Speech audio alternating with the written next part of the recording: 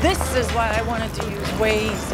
Oh, I know. It takes you on all these crazy detours and it makes you make left turns onto busy streets with no light. We passed it. To avoid traffic, so you're not sitting on the freeway, not moving for five hours. Fine. I'll just tell everyone it's my fault.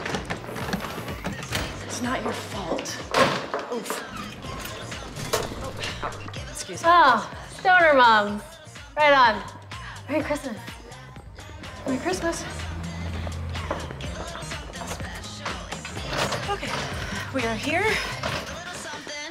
Let's just relax and enjoy the holidays.